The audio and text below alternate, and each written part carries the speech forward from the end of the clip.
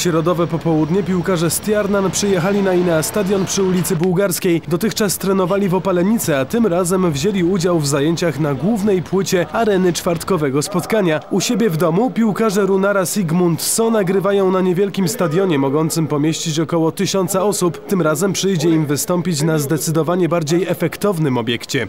We believe we can get a great result tomorrow, and uh, we know that be a very tough game, a great, uh, very good team, and uh, in fantastic uh, arena.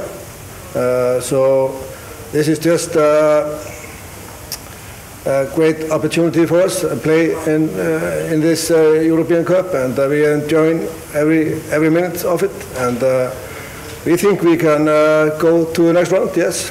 Trener z Tiarnan nie ukrywał, że zwycięstwo z Lechem 1 do 0 to historyczny sukces drużyny z Gardaber. Zawodnicy z Islandii pojedynek z kolejorzem traktują na luzie, aczkolwiek wyznaczyli sobie prosty cel awans do kolejnej rundy. Zdaniem szkoleniowca z Tiarnan jego zespół znajduje się w bardzo dobrej formie. Uh, uh, stadium is amazing. I don't think any of the players from the team have played in, in anything like it. So it's going to be a, great experience for our team, especially the young guys who can move, uh, can use that in, in their career uh, in the future. But um, we don't know how to to react when you know there's 20, 25,000 play. Uh, uh, in the stands uh, cheering for Lech Poznan, so uh, it's an, I think we have to.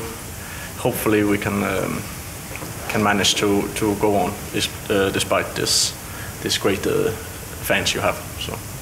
Przypomnijmy, że w drugiej rundzie kwalifikacji Ligi Europejskiej Stjarnan niespodziewanie wyeliminowało szkocki Motherwell. Przygoda Islandczyków w pucharach powinna zakończyć się w czwartek. Mimo wyjazdowej porażki to Lech jest faworytem do awansu.